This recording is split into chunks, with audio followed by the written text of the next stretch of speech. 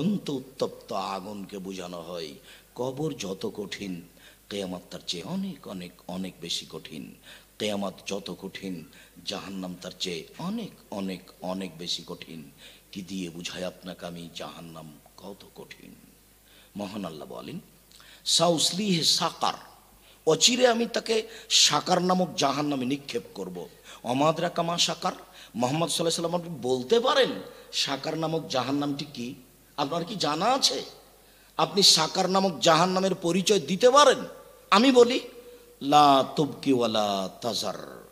জাহান্নাম এমন একটি জায়গা যেখানে মানুষকে মারবেও না, যেখানে মানুষকে বাঁচাবেও না। এর নাম জাহান্নাম। এই কথাটা অন্য জগতে বলছেন ভাই এতিহিল মৌত মিনকুল্লে মেকানি নমহা বিমাইয়ত জাহান নামে তার মরণ চতুর্দিক থেকে আসবে, কিন্তু ও মরবে না। এই কথাটা আল্লাহ তালা অন্য জায়গাতে বলেন লায়া মৌতু ফিহা ওয়ালা ইয়াহিয়া জাহান ও মরবেও না জাহান ও বাঁচবেও না। সংক্ষিপ্তভাবে আল্লাহ তালার পক্ষ থেকে জাহান নামের পরিচয় দিচ্ছিলাম, মোহাম্মদ সাল্লাহ আলি সাল্লাম বলেন, ইন্না সাকরাত আলাজিম আলাতুল কামিন শফিরে জাহান্নাম। বিশাল একটা পাথর খণ্ড যদি জাহান্নামের মুখের উপরে ছেড়ে দেওয়া হয়, তাহলে নিচে গিয়ে পৌঁছেতে সময় লাগবে সত্তর বছর। এক কোটি গুণ ওজনের একটা পাথর যদি জাহান্নামের মুখের উপরে ছেড়ে দিই, তাহলে এক ঘন্টায় কত যেতে পারে? একদিনে কত যেতে পারে? এক মাসে কত নিচে যেতে পারে? সত্তর বছরে কত নিচে যাবে, তা মানুষ জানে না। তবে তিনি বলেছেন, জাহান্নামের নিচে যে থাকবে, সে হলো মোনাফেক। একথা তিনি বলেননি, তারা হবে হিন্দু একথা বলেননি, তবে হিন্দুরা জাহান নামে যাবে। তিনি বলেননি, তারা ইহুদি, তারা খ্রিস্টান, ইহুদি, খ্রিস্টান জাহান নামে যাবে, ওদের বাঁচার কোনো পথ নেই। কেন? তাদের জান্নাতে ঢোকার কোনো পরিবেশ, সুযোগ নেই। চাঁপানবাবুজের ভাষাতে বলে, জো, আমি তো জয়ী পেলাম না ওকে ধরার। তো ও ও জান্নাতে যে যাবে, তার জয়ী হয়নি, সুযোগই হয়নি। কেন? সুযোগটা হচ্ছে লাইলাহিল্লাহ মোহাম্মদ সাল্লাহ সাল্লাম বলছেন, আল্লাহ আমার মায়ের জন্য ক্ষমা চাওয়ার অনুমতি চাচ্ছি। তখন আল্লাহ বলছেন, না না না না না, তোমার মায়ের ক্ষমা চাওয়ার জন্য অনুমতি হবে না। তখন আল্লাহ নবী বলছেন, তাহলে আমার মায়ের কবর দেখতে যেতে চাচ্ছি। হ্যাঁ তা যেতে পারো। তোমার মায়ের কবর দেখে আসো। দেখার অনুমতি আছে। ক্ষমা চাওয়ার অনুমতি নেই। পৃথিবীর সবচেয়ে দামি মানুষ মোহাম্মদ সাল্লাহ আলি সাল্লাম যা বলবেন তাই হবে, তাই করবেন আল্লাহ। খালি আল্লাহ বলবেন বিচারের মাঠে, মাথা উঠান, যা বলবেন তাই শোনা হবে। যে ব্যাপারে কথা বলবেন সেটাই মেনে নেওয়া হবে। আপনি মাথা উঠান, কি বলতে চাচ্ছেন? যাহাই বলিবেন তাহাই মানিব। যেই বিষয়ে সুপারিশ করবেন সেটাই গ্রহণ করব। এরপরেও মায়ের ব্যাপারে কিছু বলতে পাবেন না। পৃথিবীর মহামানব, দ্বিতীয় মহামানব ইব্রাহিম আলাই ইসলাম তার বাপের জন্য ক্ষমা চাওয়ার অনুমতি চেয়েছিলেন, হয়নি। তার মানে তারা লাইলাহিল্লাহ পড়েনি, তার আগে দুনিয়া থেকে চলে গেছে এই জন্য এরা জাহান নামে যাবে, তবে নিচে থাকবে এ কথা মোহাম্মদ সাল্লাহ সাল্লাম বলেননি।